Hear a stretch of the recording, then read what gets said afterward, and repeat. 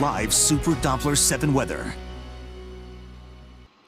We are kickstarting this Wednesday on a chilly note, really feeling like fallout here this morning at Balloon Fiesta Park.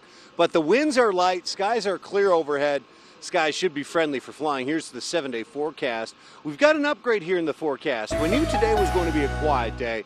Uh, our Thursday is the day we've upgraded. It looks like the afternoon breezes are going to stay a touch lighter than we originally thought, so they aren't really expected to be too significant now. Friday, we do expect kind of breezy to windy conditions here, and that'll be a throughout the day deal. And we still do have those weekend rain chances, but it really looks like it'll be afternoon and evening stuff. So at least for the morning mass ascensions, well, they should happen over the weekend with really not any issues. Here's a look at how today plays out. Hope you like sunshine. We do have chilly temperatures. That's a statewide deal, but we're at our coldest across the west and north. By afternoon, though, we all see a big swing with relatively light westerly breezes. They'll be just a touch strong east of the central mountain chain. Here's a Thursday preview. Mostly sunny skies will be the story. We'll still have relatively mild temperatures for early October, and the afternoon breezes in the 15 mile per hour range. They should stay in eastern New Mexico. Now we look ahead towards Friday, an east wind day. The chill kind of gets refreshed, especially around the central and north. That's a 70 degree high on Friday,